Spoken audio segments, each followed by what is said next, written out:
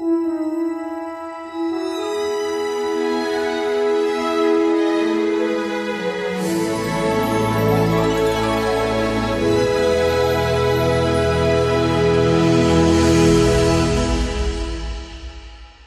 I'm going to start off before I do anything else, as I always do. I'm going to have a word of prayer, and you're welcome to join me. I'm going to get on my knees.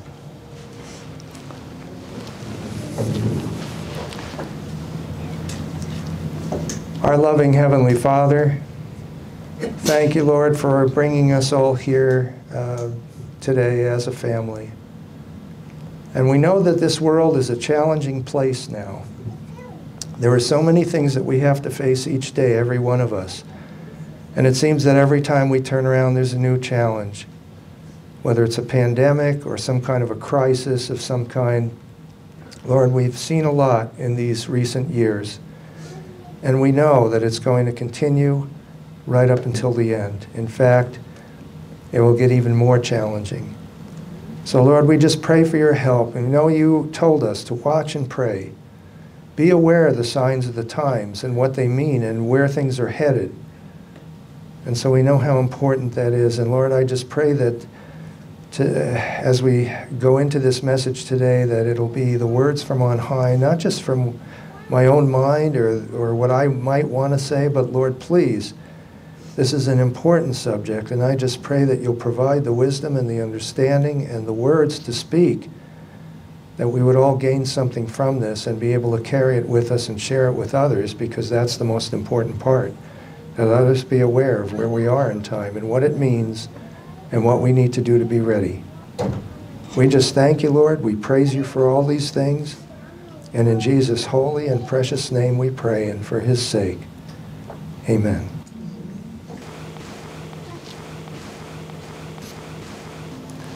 All right. Today's message is Babylon's version of eternal life. And what's Babylon? We're in Babylon, aren't we?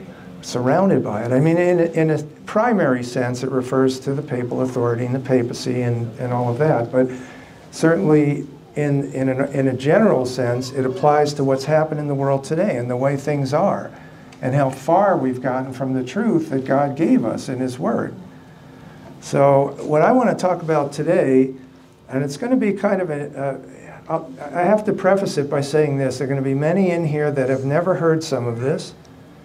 Um, I don't know if you're going to be startled. You should be.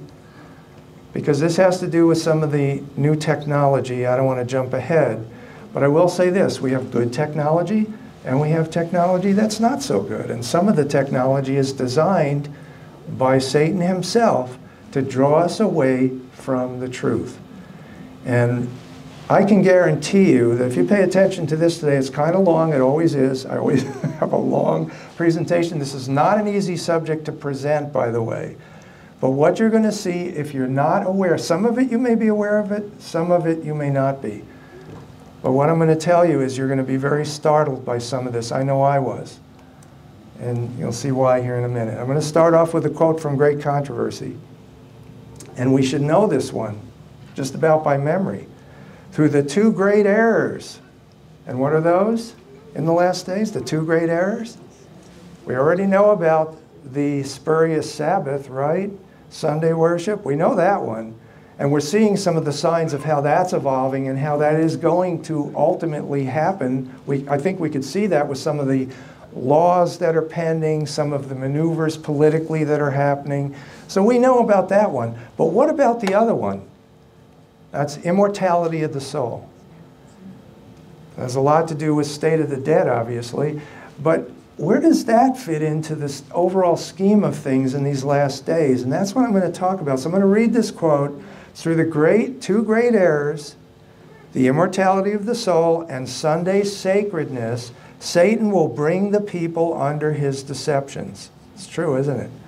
While the former lays the foundation of spiritualism, the latter creates a bond of sympathy with Rome.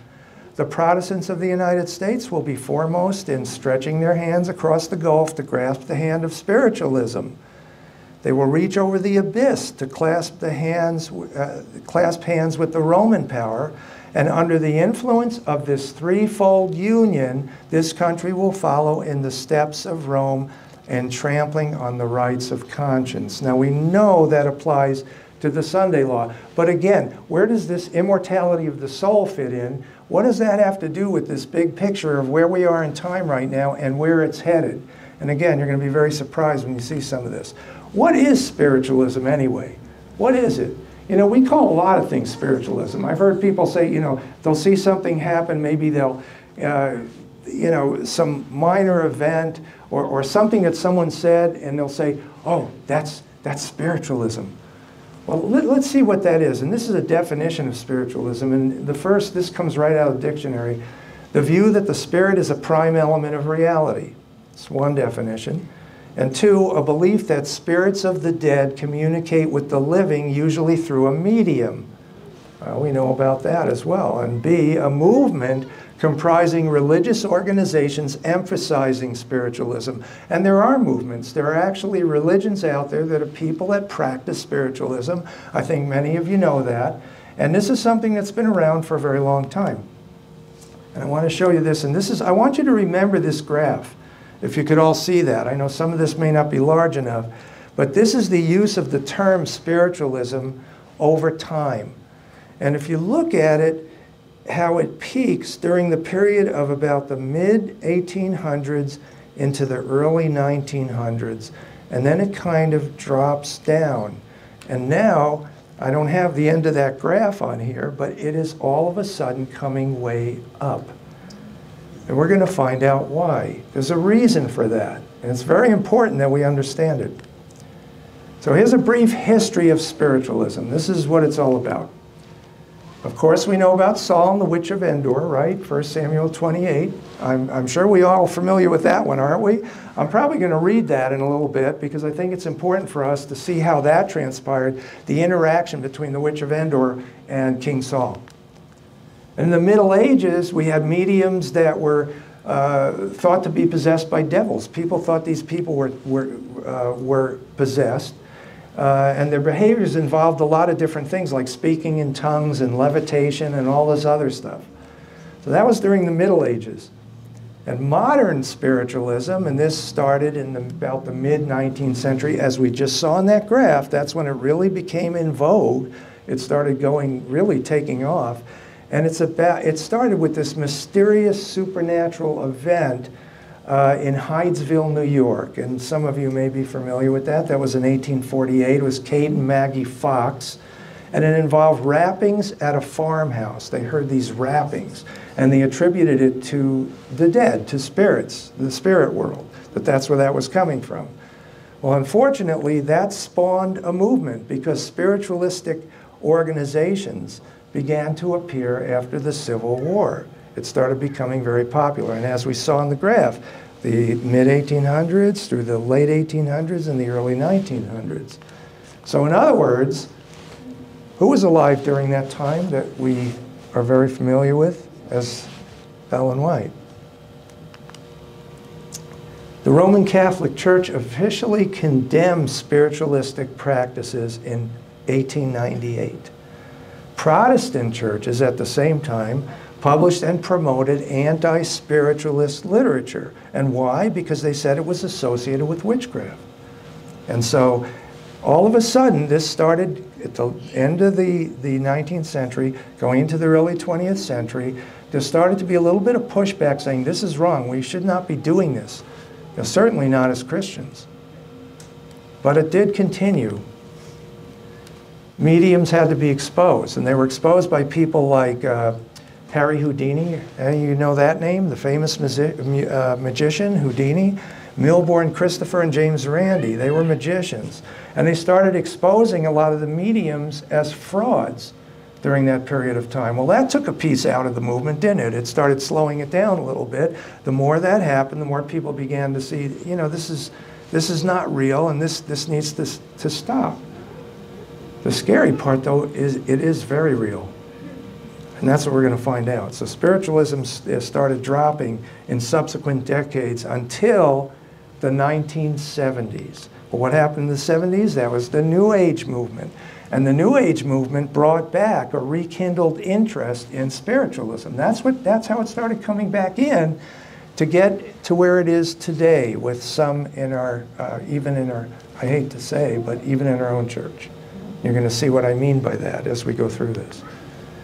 Today's spiritualism involves the use of sophisticated technology with an altruistic bent.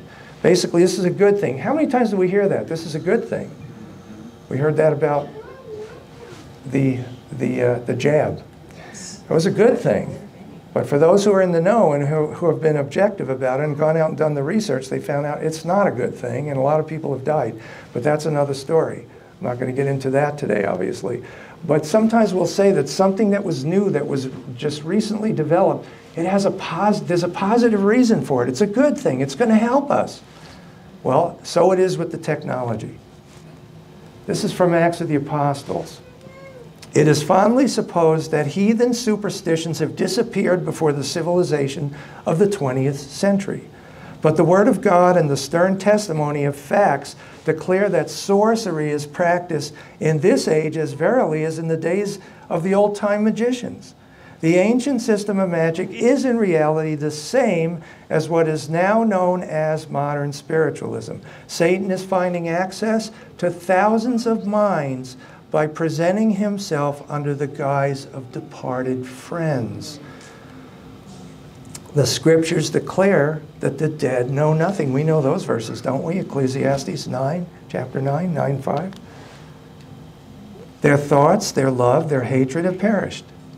The dead do not hold com uh, communion with the living, but true to his early cunning, Satan employs this device in order to gain control of minds. Through spiritualism, many of the sick, the bereaved, the curious are communicating with evil spirits. All who venture to do this are on dangerous ground, and I really want to stress that.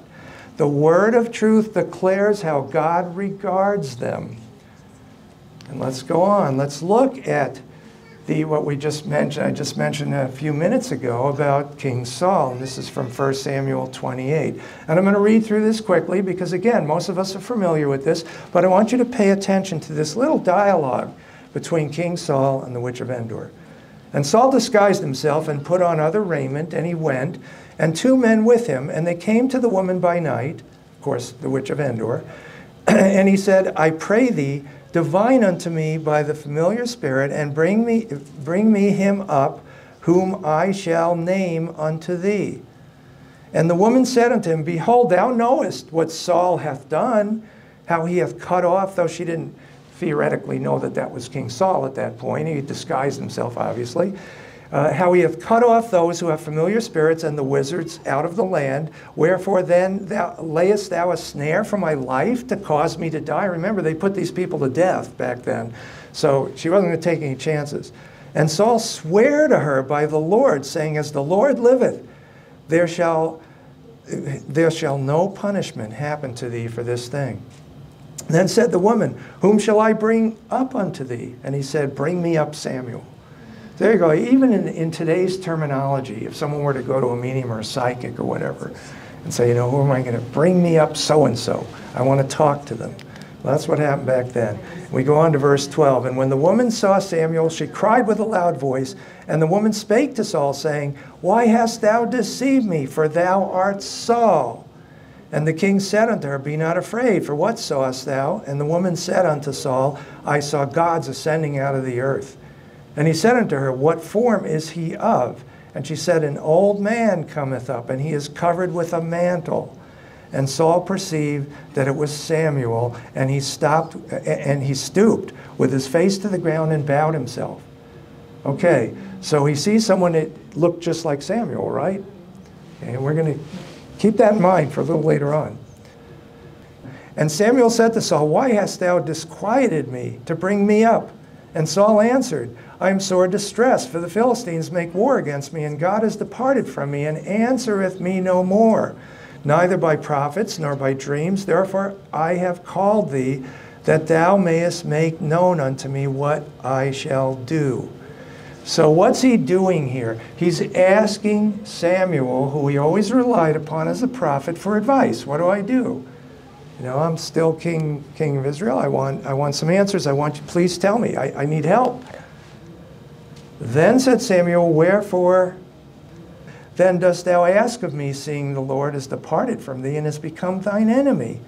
And the Lord hath done to him as he spake by me. For the Lord hath rent the kingdom out of thine hand and given it to thy neighbor, even to David, because thou obeyest not the voice of the Lord, nor executest his fierce wrath upon Amalek. Therefore hath the Lord done this thing unto thee this day. Moreover, the Lord will also deliver Israel with thee into the hand of the Philistines, and tomorrow shalt thou and thy sons be with me. Kind of a frightening thought, isn't that, for, for Saul? The Lord also shall deliver the host of Israel into the hand of the Philistines. And Saul fell straightway along, uh, all along on the earth and was sore afraid because of the words of Samuel, and there was no strength in him, for he had eaten no bread all day nor all the night. Okay, so what's going on here? What has actually happened? I think we all know this because, again, we have looked at this in our church, hopefully many of us, many times. So, what is Saul actually seeing here? Is he actually seeing Samuel? Is that actually Samuel? No Of course, it's evil angels impersonating Samuel and getting Saul to buy into that for obvious reasons. But we're going to get into this a little later. This is the most significant point in this message, going back to Scripture and looking at what's happening in our society right now. Now, this is interesting as a historian's perspective on the whole idea of necromancy, which, of course, is communicating with the dead, in case uh, anyone's not familiar with the terminology. This comes from Richard Kieckhefer, who wrote a book called Magic in the Middle Ages. And this is his perspective. The art of necromancy had three very clear aims. Firstly, it was aimed at altering another's will or mind, to drive them mad, to inflame them to love or hatred, to gain their favor, or to constrain them to do or not to do some deed. Very interesting, after what we just read, especially. This is in, in itself this in itself was a power that other forms of magic were unable to do and leads into the second aim, which was to create illusions.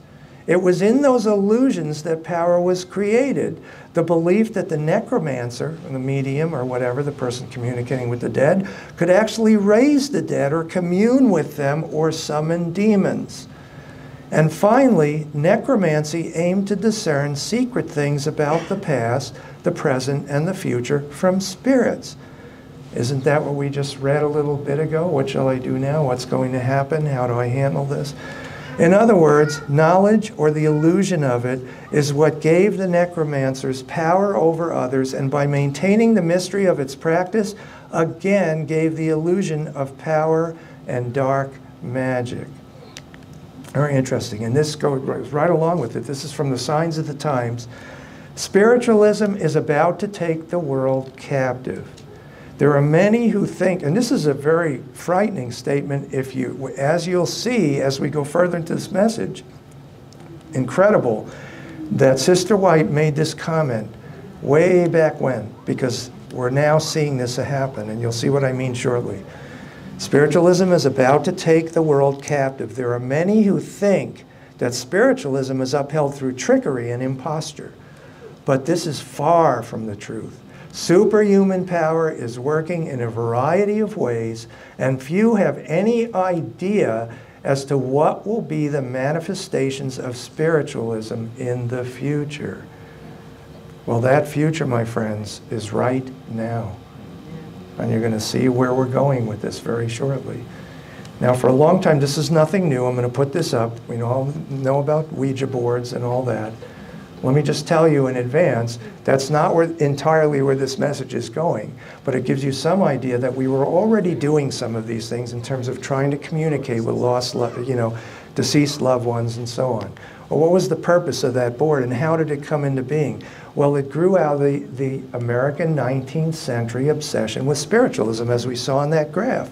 That's where it all came from. It started back in the mid 1800s and really picked up speed in the late 1800s. And in February of 1891, the first few ads started appearing in newspapers.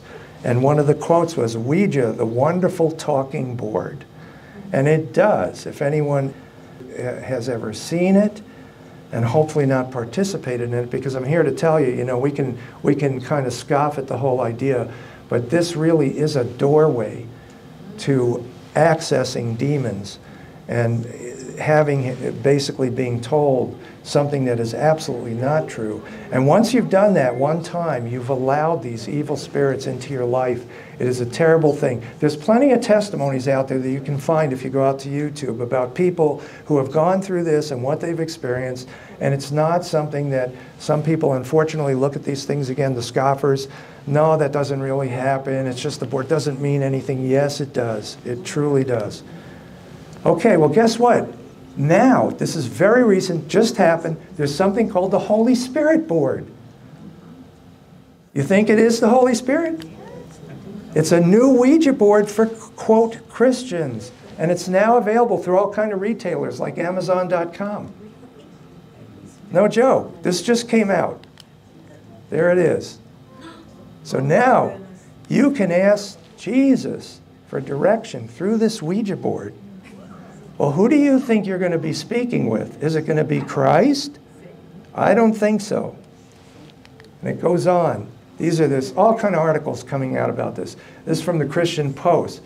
Trapped from the devil, quote unquote. Priest warns Christians not to play Holy Spirit Ouija board game. It's funny, it's a priest from the Catholic Church. It's warning people about that. Of course, the Catholic Church was big on exorcism, right? So there you go. And here it is. This, this is fascinating.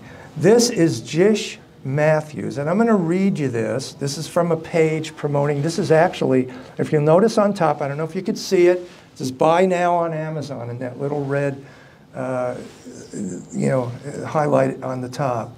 Uh, the Holy Spirit board is here. It says Jish, Jish Matthews is a devout Christian, accordion player, and ventriloquist from Beaver, Utah. In October of 2021, Jish had a prophetic dream where he was visited by an angel who told him that he must deliver the message of Jesus Christ to the world. He was shown a vision of a magical board with beautiful colors and letters, accompanied by a shining golden cross. When he awoke from the dream, he got his sketchbook out and drew the first designs for his marvelous invention. And behold, the Holy Spirit board was born.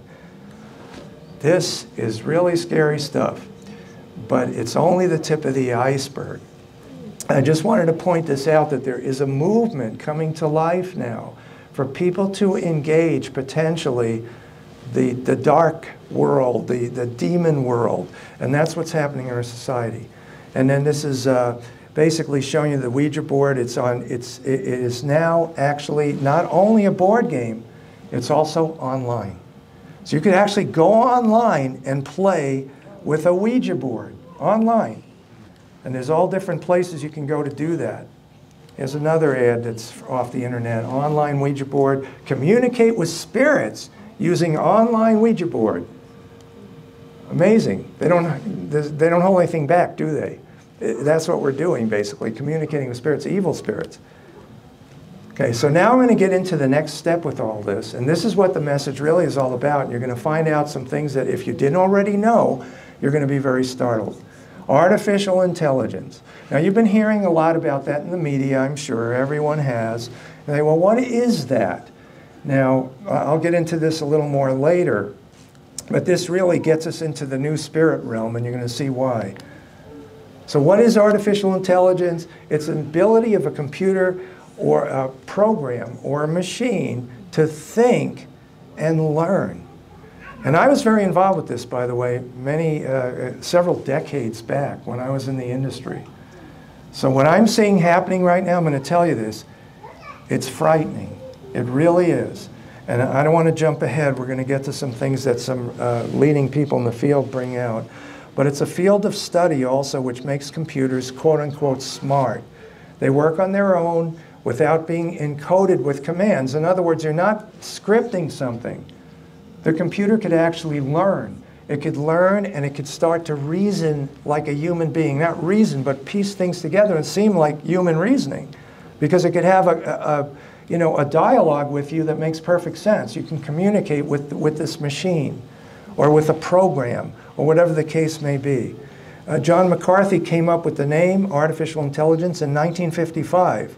This stuff didn't exist back then, mind you, but that's when it, you know, the idea came about, trying to make computers smart. In other words, not just simply following commands, but rather being able to learn and do things independently, so to speak.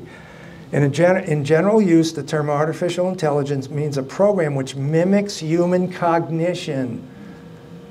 It mimics human cognition. So the program can learn to think like a person. Now, we're just scratching the surface. I'm going to go on with this even further. AI involves many different fields, like computer science, mathematics, linguistics, psychology, neuroscience, and philosophy. There's a lot involved with artificial intelligence. And in the early days when, uh, this is back in the 80s when I was involved in the industry, we were working on voice synthesis and voice recognition technology. That was one of the steps that was going to be critical in modern times for a lot of the things that we do, and we already know that. You can talk to your smartphone, right, and ask for directions. Uh, you, there's a lot of things you can do online. Uh, we, can, we have programs that will take your voice, you can dictate, and it'll translate it into text and so on. We didn't have any of that back then, but that was in the early stages of development. I worked with some of the original technology that was being developed at that time. This is an article from the Insider and what it says in the headline is a Google engineer, this is not just a guy off the street, this is one of their key people, claimed the company's AI chatbot was sentient. It means it can feel. A chatbot. We're going to talk about what that is in a minute. Then Google suspended him. What is a chatbot? Let's find out what a chatbot is. It's a computer program that simulates human conversation through voice commands or text chats or both. And you've probably experienced that yourself. You know, you can go out and there's different places online where you can type something in and you'll get an answer back that's an intelligent answer. Mm-hmm. And, and you're probably thinking to yourself, how'd they know that? It's artificial intelligence. Chatbot, short for chatterbot, is an artificial intelligence feature that can be embedded and incorporated into messaging, messaging applications, which it is. Uh, many of us have seen that. And then finally, the same engineer, this Google fires, this is from uh, CNN. Google fires engineer who contended its AI technology was sentient, has feelings like a person. Now that sounds absolutely bizarre, I'm sure, to hear that, and, and probably many of us would be inclined to say, yeah, the guy probably he must have been doing, you know, drinking or doing something, who knows what. I mean, it doesn't seem like a realistic thing, but in fact it is. You're going to find out why. His name was Blake, Blake Lemoine.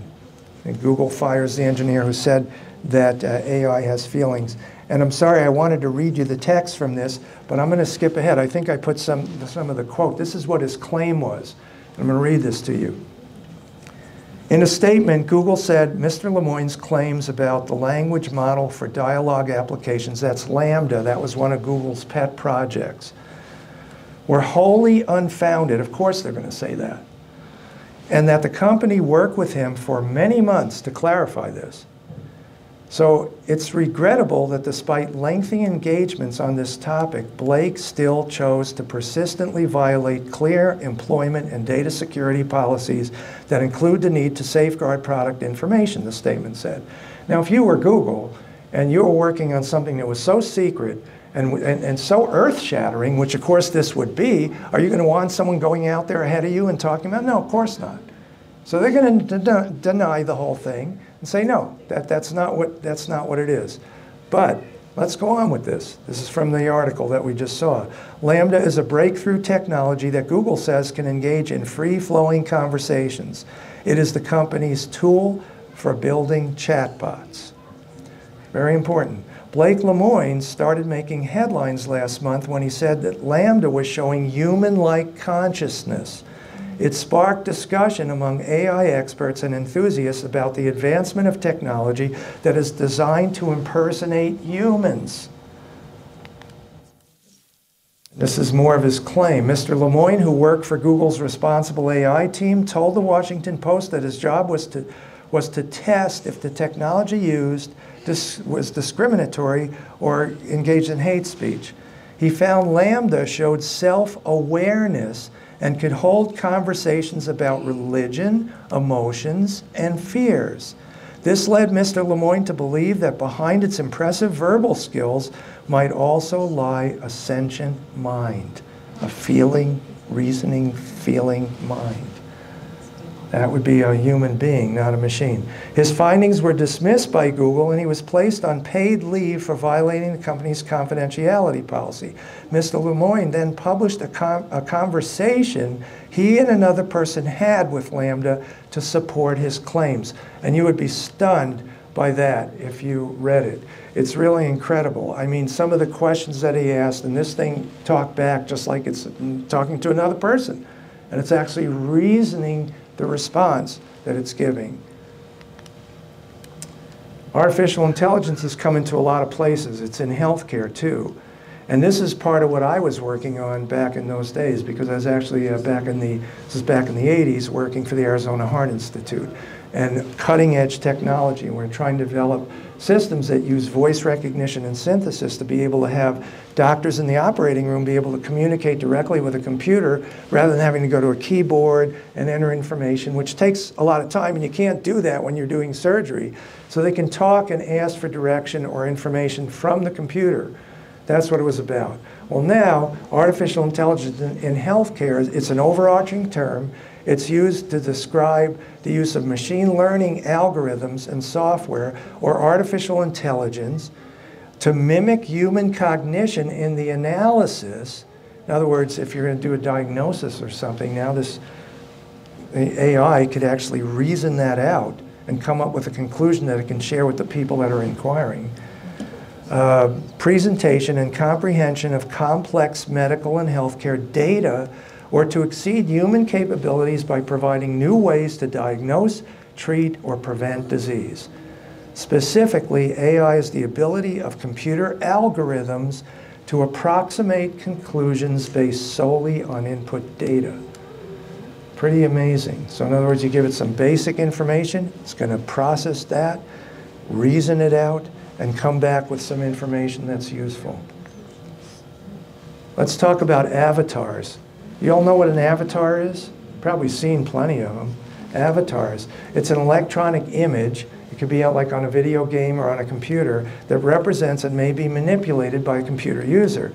It could also be, this is the second definition out of Webster, the incarnation of a Hindu deity, such as Vishnu, or, and this is the important one, 3a, an incarnation in human form or an embodiment as of a concept or philosophy, often in a person.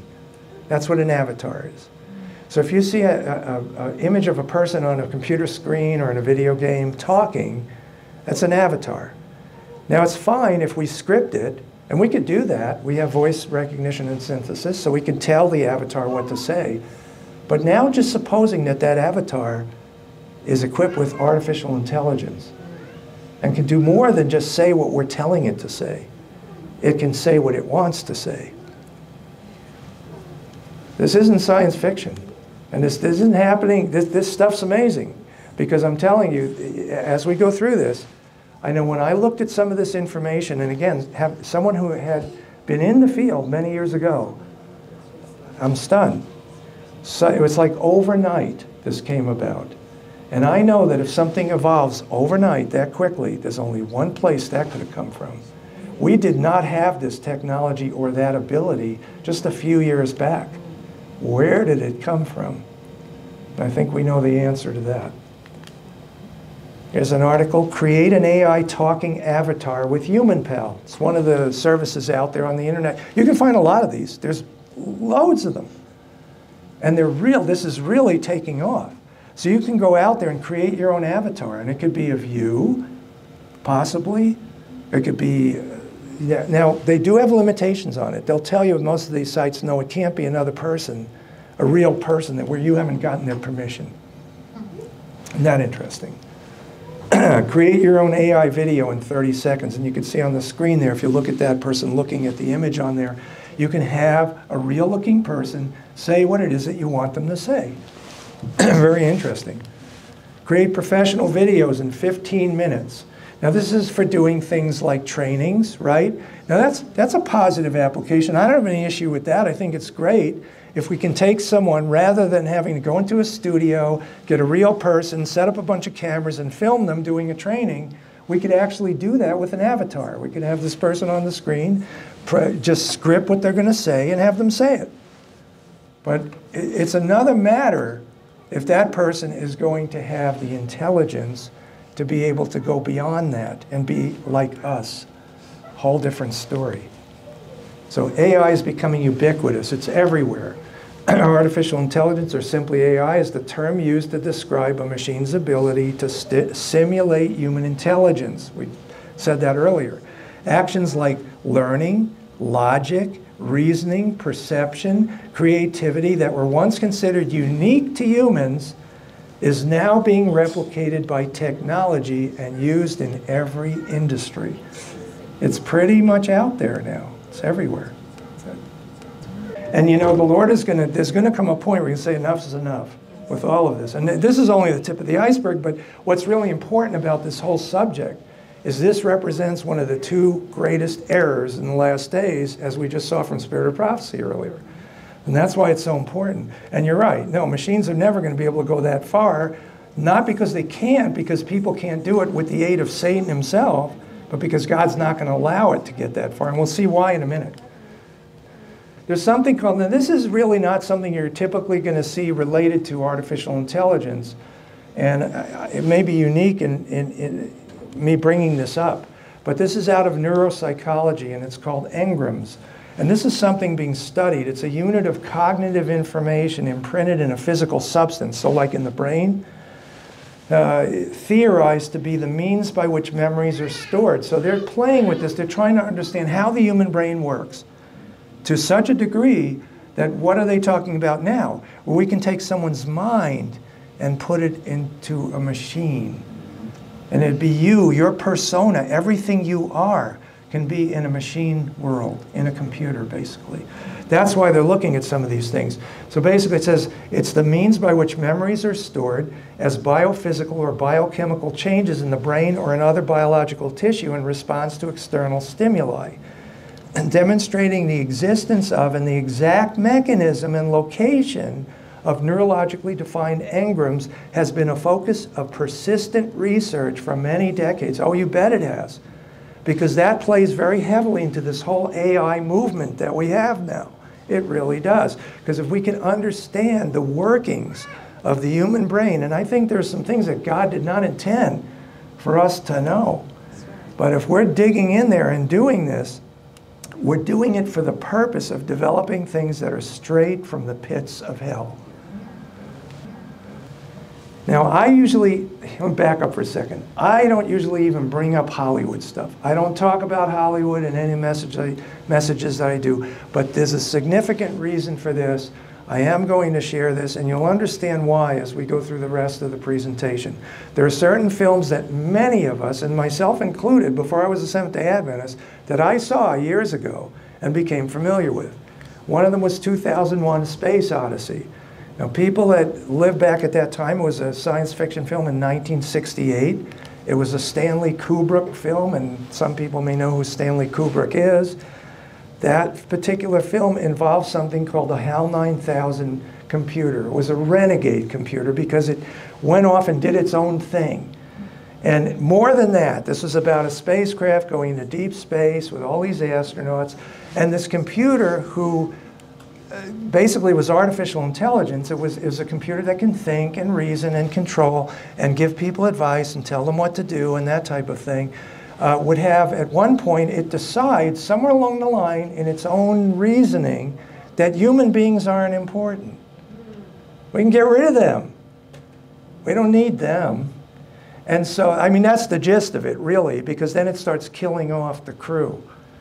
And it's not a computer like a robot that's walking around. No, what it did was we get the astronauts to go fix a repair that didn't exist outside the spacecraft. When they got out there, it would cause a malfunction in the pod and they would go drifting off into space. That type of thing. I'm not going to get into the plot of the movie. We don't want to go there. But you get the point. It was a computer gone renegade and killing human beings because it felt that they were not needed anymore. Okay, well then there was a television series that came out.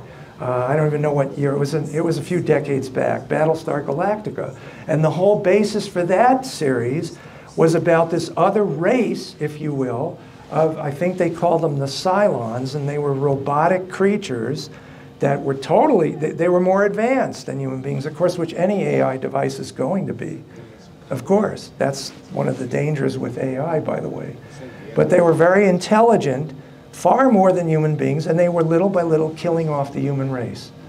That's what that whole series was about. Intelligence, now, though, it's like, are you saying measuring intelligence with spirituality? Because we have discernment where these things can only have data put into them the data, whatever the programmer puts into it, is what it can use to. No, but, but that's what I'm saying. With AI, it's not like that anymore. We're not programming them. They're learning on their own, just like a human being, like a child. That's, it's supernatural.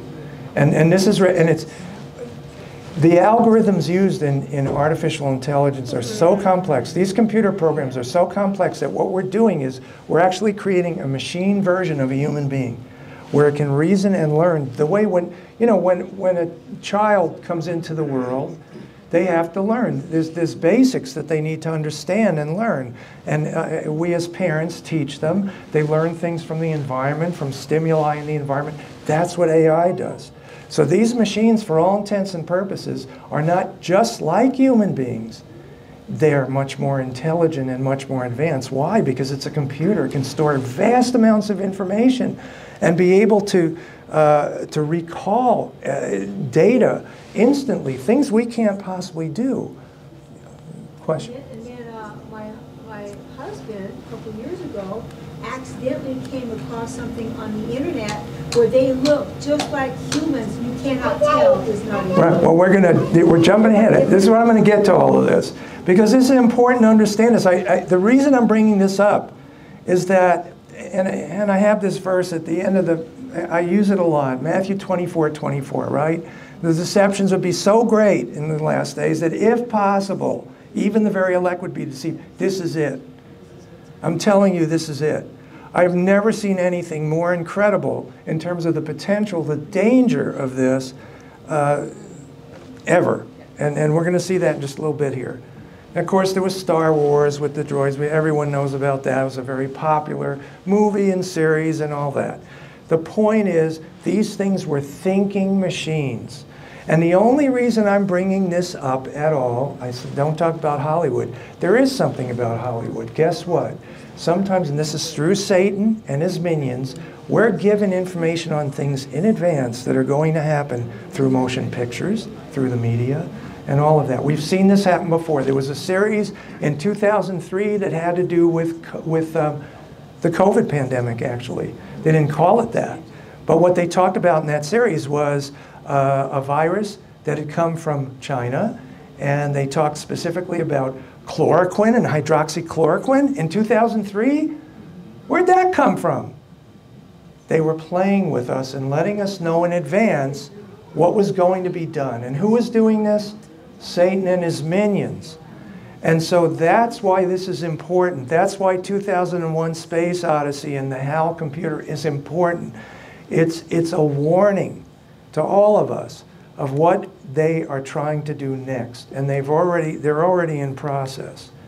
Here's an article, this is from CNN again. Elon Musk, and everyone knows who Elon Musk is, warns AI could cause, quote, civilization destruction, unquote, even as he invests in it. Now, I don't know about that part, but we could look at Proverbs 14:12. What does that say? There is, there is a way which seemeth right unto a man, but the end thereof are the ways of death. So he may feel this is a good investment, but guess what? What's going to happen to that? He's, he's not going to escape any more than anyone else if there's destruction involved, and that's what Scripture tells, warns us about. But let's go on with this. He, he had a little change of tune, and basically he comes out, and this is more recent, that Elon Musk and others call for pause on AI, citing profound risks to society. This is no small thing. This is coming from someone who is probably more in the public eye now than many other people that we know out there. And that's a very big, powerful statement to make. Stop this before it's too late. So let's pause it. And then this is another article that came out of CNN. Forget about the AI apocalypse. The real dangers are already here. Talks about the fact that jobs are being replaced, uh, that elections can be maneuvered because of artificial intelligence. Does that sound familiar? Of course, that's a denial thing. It's a conspiracy theory. Yeah, we know all that. But the fact of the matter is, yes, we can do all of this with artificial intelligence, and they're absolutely right. That's how dangerous this is. But we have only scratched the tip of the iceberg here. We're not even, we, we're going to go further with this. It's definitely not harmless. It really isn't. There's a lot of people that say, no, this is a good thing. Like I said, this is something that we could embrace because it's going to help us. We could have machines that we can talk with and they'll reason and give us all this information and so on and so forth. That's not where this is headed. This is man who had affair with AI chatbot girlfriend said it saved his marriage.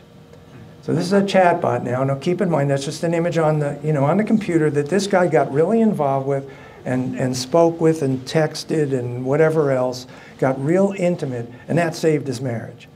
You know, you hear about a lot of people say they had an affair and it saved their marriage. Well, that's what it was. You know? And, and so, not a small thing, but it gets worse.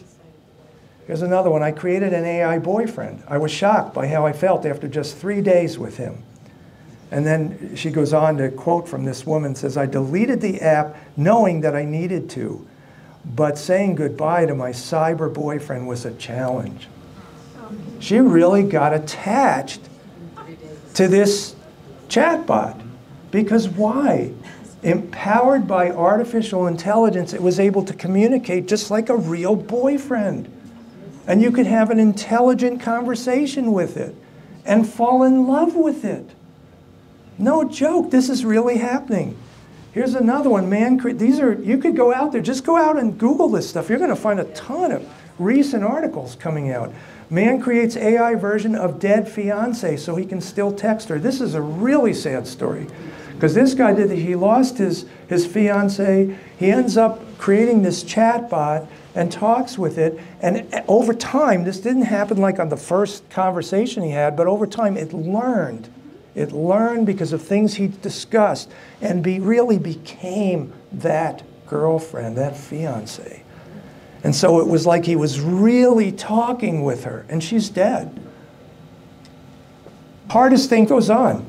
Here's one that's even worse. Man dies by suicide after conversations with AI chatbot that became his confidant, widow says. And she basically said, this is a quote from her, he saw this chatbot as a breath of fresh air. The man's wife told Belgian outlet to uh, La Libre, which uh, reviewed his, uh, his conversations with a bot name, named Eliza. And what this bot did was actually convince him that climate change was it was hopeless, and the only way that we could ever make a difference on defeating climate change is by killing ourselves. And get, so it would be one less person taking up space and giving off carbon dioxide. And, she, and the chatbot got him to do that. Let's go back to King Saul and the Witch of Endor. What happened there? This is happening in a huge way. I, I can't stress it enough. We're going to go on. This is from the story. I could read about this. The AI chatbot is being blamed for a Belgian man dying by suicide. Uh, Vice reports that the husband, father of two, and a health researcher was discussing climate change with a chatbot named Eliza on the app Chai. The man conversed with the chatbot over the course of six weeks, which culminated in the AI convincing the man to offer himself up to save the earth. And this is a quote, without Eliza, he would still be here, his widow told Belgian outlet La Libre. The unidentified man who was in his 30s had deep concerns about climate change. His wife described him as being extremely pessimistic about the effects of global warming and having eco-anxiety. He took comfort in the AI, which he saw as a breath of fresh air. When he spoke to me about it, it was to tell me that he no longer saw any human solution to global warming, his wife said. He placed all his hopes in technology and artificial intelligence to get out of it. The widow also said that the chatbot became her husband's confidant. At some point, the conversations veered astray, with the bot claiming that the man loved her more than his wife. Then he wondered, uh, he wondered to the AI if he should give up his life to save the planet. And this is really, really disturbing stuff. And I'm not making this up, and neither are they. You're going to find a lot of stories similar to these. So, real modern day idolatry. Why? Now we're really getting into the meat of this. I know I'm going a long time on this. Gonna, I tell you, you're going to be really startled. What does Exodus chapter 20, verses 3 through 6 say? Thou shalt have no other gods before me. We know these. We should know these by memory. Well, God gave us from this is one of the commandments, the two of the commandments actually. And so these are things that we should have written in our minds and our hearts and know better than to engage in anything that would violate this because who did that? The heathen cultures back in the days of ancient Israel, right? And we'll get to that here shortly. So what is happening? Here's an article that says God and robots. Will AI transform religion? Where do you see what's coming up? And again, you could find all this. I, I can't put all the articles. I, I'd have you here all day. The radical movement to worship AI as a new God. People are now worshiping AI gods. You think they're making this up? There's websites out there. You can choose your God. What does that sound like? That is like ancient times when people worship Baal and Molech that's exactly what we're doing now. So now we're not talking anymore. When we use when we use the term idolatry, and we say, well, you know, if you're putting watching a motion picture or going to a ball game over doing a Bible study and doing things that could help others, well, well, that's idolatry, isn't it? Well, it is. But now we're talking about idolatry in the primary sense of the things that people did back in those days when they worshiped statues of wood and stone. Now we're doing with AI bots. And this is, was the, the uh, scripture reading this morning. I'm going to read this once again because I'm going to add two verses to it. this is verses, uh, Deuteronomy 18, verses 9 through 14. When thou art come into the land which the Lord thy God giveth thee, thou shalt not learn to do after the abominations of those nations. And we know what those abominations were there shall not be found among you any one that maketh his son or his daughter to pass through the fire, or that useth divination, or an observer of times, or an enchanter, or a witch, or a charmer, or a consulter with familiar spirits, or a wizard, or a necromancer. You're not to speak with the dead. For all that do these things are an abomination unto the Lord. And because of these abominations, the Lord thy God doth drive them out from before thee. So he threw those other heathen cultures out, drove them out. Why? Because of what they were doing, so that the children of Israel can come in, right? To this talk about the promised land and move into the land that they occupied, because they were doing things that were abhorrent to God. They were sacrificing their own children to Molech, which, by the way, we can get in a whole subject about that today, of what we're doing to our children. Very much like what happened back then. It goes on to say, Thou shalt be perfect with the Lord thy God, for these nation, nations which thou shalt possess hearkened unto observers of times and unto diviners. But as for thee, the Lord thy God hath not suffered thee to, so to do. We're not supposed to do these things. But I'm here to tell you there are people that have, even in our own church, no surprise, we're all, you know, the heart is deceitful above all things and desperately wicked. We're, we're human beings. We still have, we're still working toward what? Overcoming sin. We're working in that direction. We're trying to work on character so we'll be fit for the kingdom when our Lord and Savior returns. That's what we're to do. It's, it's either obey or disobey. Right. I mean, you see people that want to do small things they think it's subtle and it's harmless, but like my one daughter read, or went to a palm reader and then tarot cards. Right. And it's just this, and then you see mediums on TV, and they're supposed to be good mediums. Right. Is that God speaking to? And it's like, no, if we obey the word of God, we won't deal with them. We won't entertain these bots that are supposedly our dead loved ones. Right, right, exactly. That's the whole point. Because they, and, and that's the point of this whole message. A lot of these things to a lot of people look totally innocent or beneficial. You know, if you can have some of these things to help, like for example, uh, you're a doctor and you need some additional diagnostic data trying to, to or trying to diagnose a patient. And you talk to this bot. Now, this bot has access to huge databases and can pull information up instantly and then reason through it, if you will, to be able to provide the doctor with a potential answer to the problem he's looking for. It, I don't think anyone's going to argue that that isn't a beneficial thing to have. That might be. But that's not what we're talking about here. This is a whole different story. And I'm not saying that that's a good thing either, but certainly you could understand how people could argue that point. Now, this is from This Day with God. Spiritualism is the masterpiece of deception. It is Satan's most successful and fascinating delusion, one calculated to take hold of the sympathies of those who have laid their loved ones in the grave. Evil angels come in the form of those loved ones. They come in the form of those loved ones and relate incidents connected with their lives.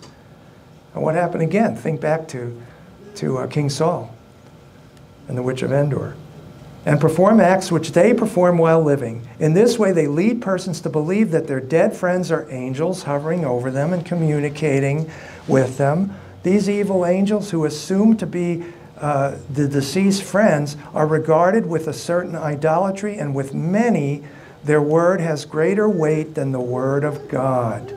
And that's where we came into seeing that these people are actually worshiping bot gods. They're going to believe them not the Word of God. Thus, men and women are led to reject the truth and give heed to seducing spirits. So now we get into the real crux of this whole thing AI's new frontier connecting grieving loved ones with the deceased. This is the latest thing, and it's big, and it's happening in a huge way. This is about this woman that had lost her young daughter to a, a, disease. Now, I don't know if any of you saw this video that's out there on YouTube. It's very sad. It's sad because this person is, like anyone who lost a loved one, too easily deceived. Because if you now, through virtual reality, wear these glasses and they have all this technology, create the three-dimensional daughter in a real setting where you really believe you're there and you're seeing your deceased loved one. And she's going over and she's just obviously, if you were the mom, you'd break down, just cry with tears of joy to see your daughter again. But your daughter's dead. But they're bringing the daughter back to life through this technology. I just felt sorry for the woman because the thing was an experiment. It was done a while back. Now this is commonplace. And you'll see that in a minute. But I'll play just a clip from the video.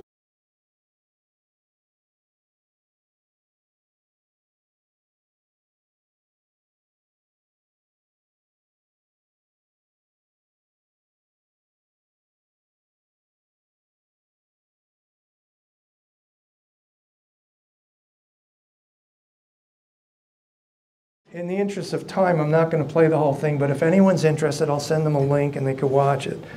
But it, it's just, it's, to me, this is horrifying.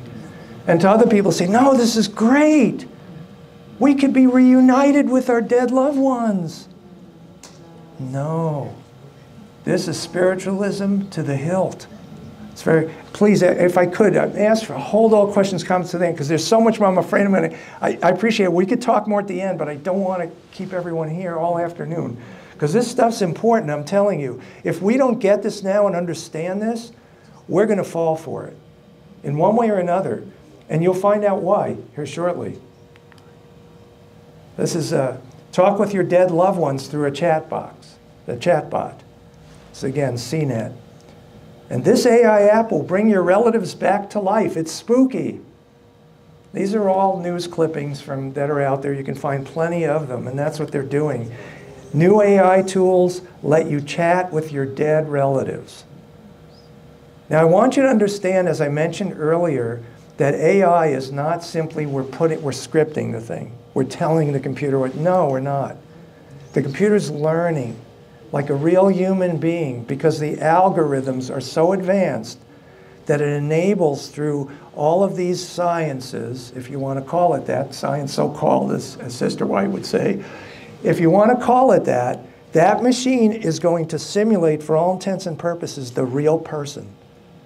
So now you can create a chatbot that looks exactly like the person, has their voice, has their understanding as they learn from you to remember events and be able to converse with you like they're really that person. Do you realize what the implication of this is? And what this is going to do to people?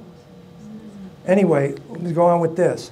How can artificial intelligence immortalize human beings? And that's the basis for this message. It's about Babylon's version of eternal life. Because if we could do this, and we're not just talking about chatbots, and you're going to see that shortly, we can create robotics and androids that are so human and lifelike that we can put it into that, and you'd have a living version of that person you lost now, in this world, right now, this isn't science fiction. It was maybe, I don't know, a decade ago or two.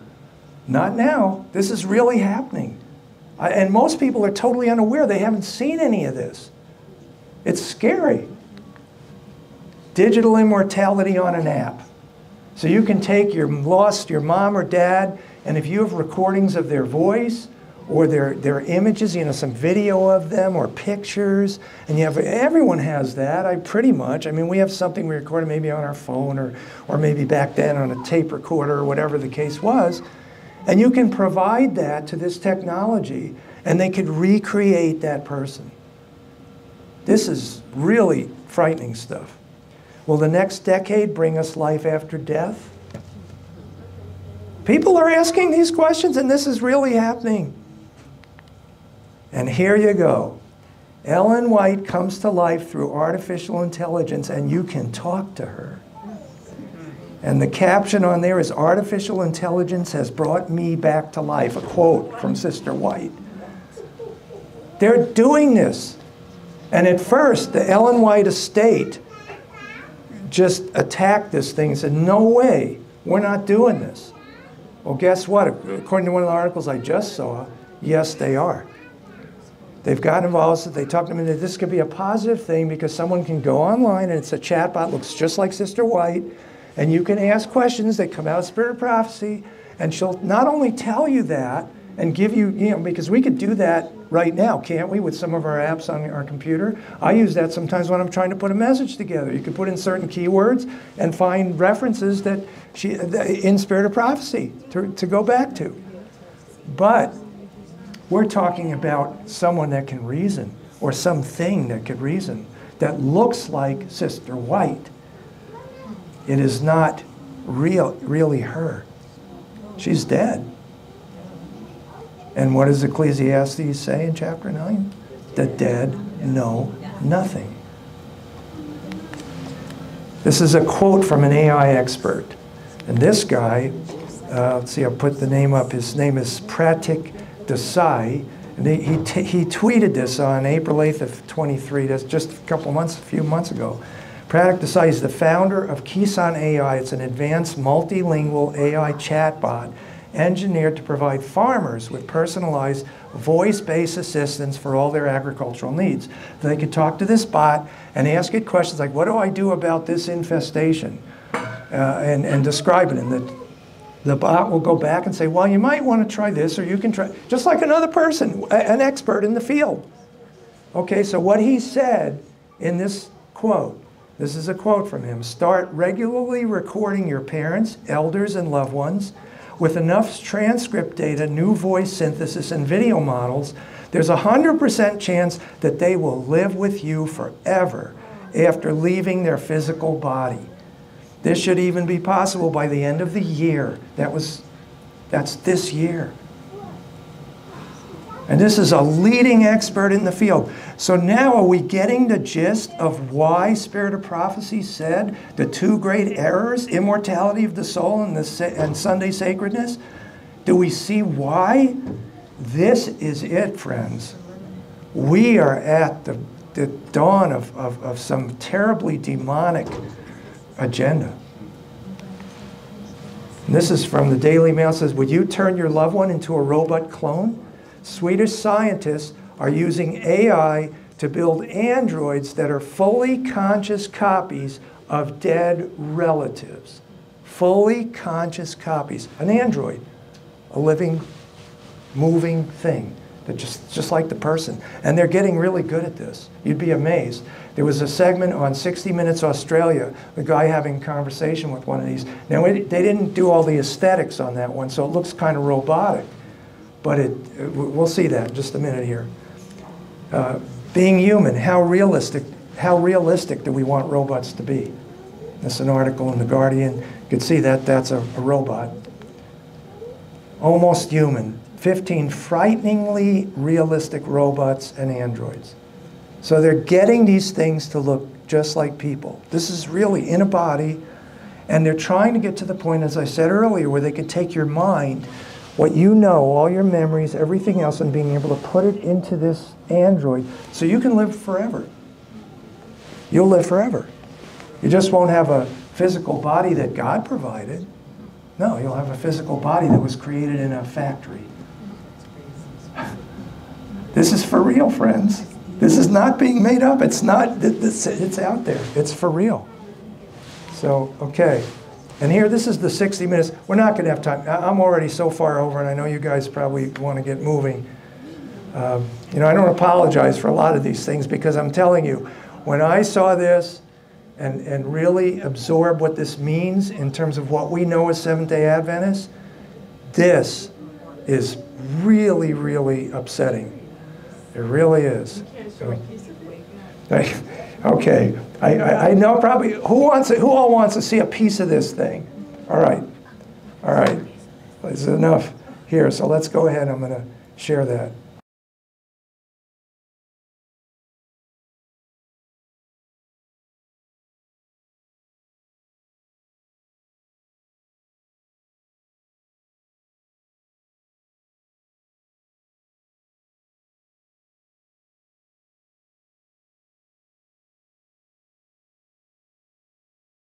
I just don't want to take up the whole time on this thing, but you get the gist of it. And like I said, the aesthetics, are, they didn't, this is basic. You know, this was, in fact, this was done a while ago. And so they didn't bother to do all the aesthetics and put the skin and the hair and the whole thing. So, but let me show you. This is just a mock-up. It's not the real one, but this is what it will be like.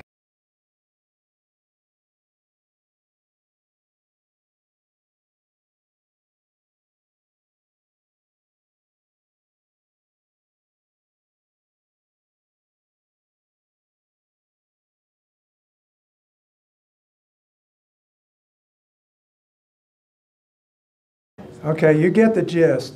I mean, basically, we're getting to the point now, and this is, you know, this is not the real thing, it's a mock-up. But the fact is they're getting to the point where they can produce androids that look so much like a person, it's going to get very soon to where you cannot tell them apart. And you can put all this information in there, they have equipped with artificial intelligence, and be able to reason, communicate, have cognition just like a person, and all of that. But that's not the point of this message. The message is what happens now if we do that with our deceased loved ones, which is the whole point of this exercise, to give people the opportunity to live forever. Could you tell us that? So here we go, great controversy. The theory of the immortality of the soul was one of those false doctrines that Rome, borrowing from paganism, incorporated into the religion of Christendom. Martin Luther classed it with the monstrous fables that form part of the Roman dunghill of decretals. The Problem of Immortality, page 255, commenting on the words of Solomon in Ecclesiastes that the dead know not anything, the Reformer says, Another place proving that the dead have no feeling. There is, saith he, no duty, no science, no knowledge, no wisdom there. Solomon judgeth that the dead are asleep and feel nothing at all. For the dead lie there, accounting neither days nor years, but when they are awake, they shall seem to have slept scarce one minute. And that's from Martin Luther uh, in the Great Controversy quote. So there you go. And of course, Matthew 24, as I mentioned earlier, There shall arise false Christs and false prophets, and shall show great signs and wonders, insomuch that if it were possible, they shall deceive the very elect. And uh, 2 Thessalonians chapter 2, uh, verse uh, 10 and 11. And with all deceivableness of unrighteousness in them that perish, because they receive not the love of the truth, that they might be saved. And for this cause God shall send them strong delusion that they should believe a lie. And of course, finally here, and I, I'm going to stop here because I've got so much more stuff. Testimonies for the Church, Volume 9. Great changes are soon to take place in our world. And what? We know this one by heart. And the final movements will be rapid ones. Let me tell you, folks, rapid ones, this technology came up overnight. Having been in the industry, I can tell you, I've never seen anything like this. It's incredible. And what you're going to find, you go out and do your I encourage everyone, go do your own research. But the danger with this is so many people are going to fall for this. And there are going to be those that really want, look, understandably, I miss my dad. How would I feel if I were in that woman's place with her daughter? I, I don't even want to do that. Because, for one thing, it disables another process that God built into us, and that's the grieving process. We lose a loved one, we grieve the loss, and we go on. But it, it totally derails that. There is no grieving process anymore because your relative's going to live with you forever. They'll outlive you. And then if you could take your brain info, your brain's information and put it into a device like that, you'll live forever too. That's Babylon's version of eternal life. And we know what eternal life's about. And it isn't that. So again, presented this. I know some of this seems absolutely incredible. Believe me, I didn't just like go out there and dig up things that are like, you know, just hard to find. This stuff is out there in a big way. And if you just do some basic research on Google, you're going to find out just how serious this is and how people are just jumping at the chance to be able to bring back their dead relatives, especially children, of course. It's a very painful thing to lose a child. But people are going to do that. And I guarantee you it'll be many of our own brothers and sisters in our own church. People can say this is a good thing, on and on and on. No, God prohibited this. We're not to do this. The Lord has given us clear counsel through spirit prophecy and the Bible to say, no, this is not what any of us should be doing. We're not to communicate with the dead. And so, again, uh, go out, do your own research, take a look at this. But I thought I'd present this today. It's the first time I presented this. I just finished putting some of this together uh, just uh, yesterday, in fact. So um, there's a lot of new information out there. I suggest check it out. So why, on that note, why don't I have a closing prayer?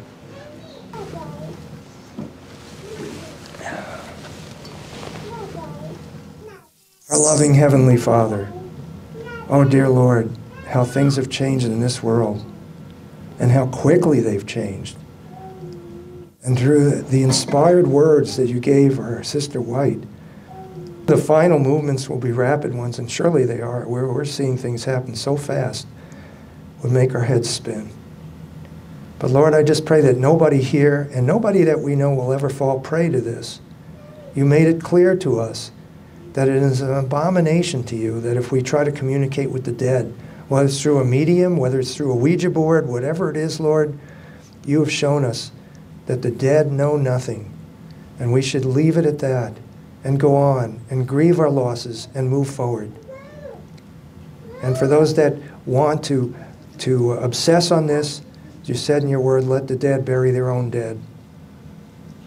But we need to go forward and carry the message that you have for us to give to so many who, in this world, especially now, really need to hear because it's such a difficult place to live. And it will get much more so over the years to come, however much time we even have left. So please, Lord, be with all of us as we go from here today. Let us not fall prey to this uh, deception. It's a big one, and it's uh, man's best effort to overcome the laws and the principles that you gave us in your word. Please be with us now as we go, and we just thank you. We praise you for all these things. And in Jesus' holy and precious name we pray, and for his sake, amen.